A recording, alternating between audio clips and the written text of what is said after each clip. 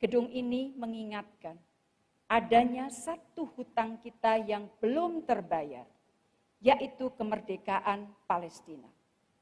Tahun 2023 merupakan tahun yang sangat buruk bagi bangsa Palestina.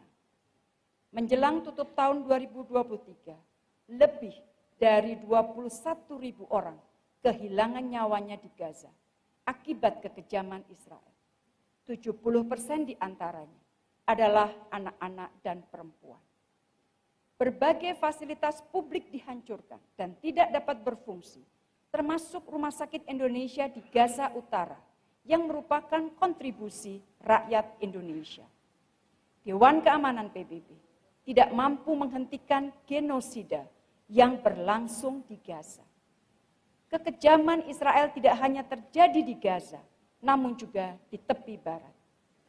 Indonesia terus konsisten dan berada di garis depan bersama dengan bangsa Palestina memperjuangkan hak-hak mereka.